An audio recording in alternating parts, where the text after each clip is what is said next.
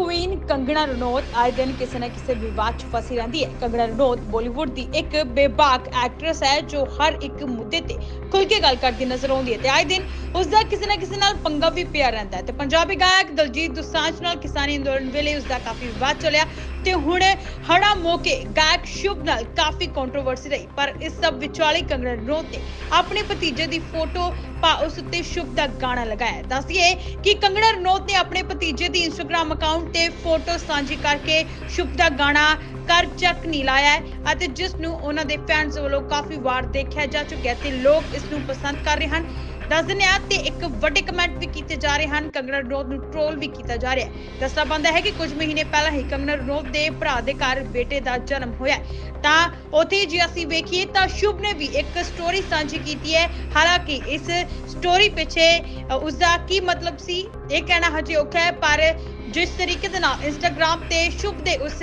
ਪਾਈ ਗਈ ਸਟੋਰੀ ਨੂੰ ਟ੍ਰੋਲ ਕੀਤਾ ਜਾ ਰਿਹਾ ਹੈ ਤਾਂ ਇਹ ਮੰਨਿਆ ਜਾ ਰਿਹਾ ਹੈ ਕਿ ਸ਼ੁਭ ਨੇ ਆਪਣੇ ਇੱਕ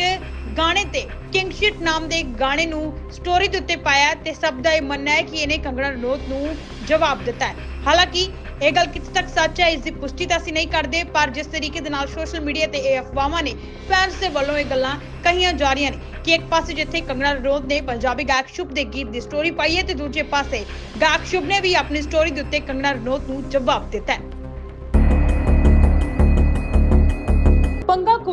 ਕੰਗਣਾ ਰਣੌਤ ਆਏ ਦਿਨ ਕਿਸੇ ਨਾ ਕਿਸੇ ਵਿਵਾਦ 'ਚ ਫਸੀ ਰਹਿੰਦੀ ਹੈ। ਕੰਗਣਾ ਰਣੌਤ ਬਾਲੀਵੁੱਡ ਦੀ ਇੱਕ ਬੇਬਾਕ ਐਕਟਰੈਸ ਹੈ ਜੋ ਹਰ ਇੱਕ ਮੁੱਦੇ ਤੇ ਖੁੱਲ ਕੇ ਗੱਲ ਕਰਦੀ ਨਜ਼ਰ ਆਉਂਦੀ ਹੈ ਤੇ ਆਏ ਦਿਨ ਉਸ ਦਾ ਕਿਸੇ ਨਾ ਕਿਸੇ ਨਾਲ ਪੰਗਾ ਵੀ ਪਿਆ ਰਹਿੰਦਾ ਹੈ ਤੇ ਪੰਜਾਬੀ ਗਾਇਕ ਦਲਜੀਤ ਦੁਸਾਂਝ ਨਾਲ ਕਿਸਾਨੀ ਅੰਦੋਲਨ ਵੇਲੇ ਉਸ ਦਾ ਕਾਫੀ ਵਿਵਾਦ ਚੱਲਿਆ। ਤੇ ਹੁਣ ਹੜਾ ਮੌਕੇ ਗਾਇਕ ਸ਼ੁਭ ਨਾਲ ਕਾਫੀ ਕੰਟਰੋਵਰਸੀ ਰਹੀ, ਪਰ ਇਸ ਸਭ ਵਿਚਾਲੇ ਕੰਗਣਾ ਰਣੌਤ ਨੇ ਆਪਣੇ ਭਤੀਜੇ ਦੀ ਫੋਟੋ ਪਾ ਉਸ ਉੱਤੇ ਸ਼ੁਭ ਦਾ ਗਾਣਾ ਲਗਾਇਆ। ਦੱਸਿਏ ਕਿ ਕੰਗਣਾ ਰਣੌਤ ਨੇ ਆਪਣੇ ਭਤੀਜੇ ਦੀ ਇੰਸਟਾਗ੍ਰam ਅਕਾਊਂਟ ਤੇ ਫੋਟੋ ਸਾਂਝੀ ਕਰਕੇ ਸ਼ੁਭ ਦਾ ਗਾਣਾ ਕਰ ਚੱਕ ਨਹੀਂ ਲਾਇਆ ਅਤੇ ਜਿਸ ਨੂੰ ਉਹਨਾਂ ਦੇ ਫੈਨਸ ਵੱਲੋਂ ਕਾਫੀ ਵਾਰ ਦੇਖਿਆ ਜਾ ਚੁੱਕਿਆ ਤੇ ਲੋਕ ਇਸ ਨੂੰ ਪਸੰਦ ਕਰ ਰਹੇ ਹਨ। ਦੱਸ ਦਿੰਦੇ ਹਾਂ ਤੇ ਇੱਕ ਵੱਡੇ ਕਮੈਂਟ ਵੀ ਕੀਤੇ ਜਾ ਰਹੇ ਹਨ। ਕੰਗਣਾ ਰਣੌਤ ਨੂੰ ਟ੍ਰੋਲ ਵੀ ਕੀਤਾ ਜਾ ਰਿਹਾ ਹੈ। ਦੱਸਣਾ ਬੰਦਾ ਹੈ ਕਿ ਕੁਝ ਮਹੀਨੇ ਪਹਿਲਾਂ ਹੀ ਕੰਗਣਾ ਰਣੌਤ ਦੇ ਭਰਾ ਦੇ ਘਰ ਬੇਟੇ ਦਾ ਜਨਮ ਹੋਇਆ ਤਾਂ ਉਥੇ ਜੇ ਅਸੀਂ ਵੇਖੀਏ ਤਾਂ ਸ਼ੁਭ ਨੇ ਵੀ ਇੱਕ ਸਟੋਰੀ ਸਾਂਝੀ ਕੀਤੀ ਹੈ। ਹਾਲਾਂਕਿ ਇਸ ਸਟੋਰੀ ਪਿੱਛੇ ਉਸ ਦਾ ਕੀ ਮਤਲਬ ਸੀ, ਇਹ ਕਹਿਣਾ ਹਜੇ ਔਖਾ ਹੈ, ਪਰ ਜਿਸ ਤਰੀਕੇ ਦੇ ਨਾਲ ਇੰਸਟਾਗ੍ਰam ਤੇ ਸ਼ੁਭ ਦੇ ਉਸ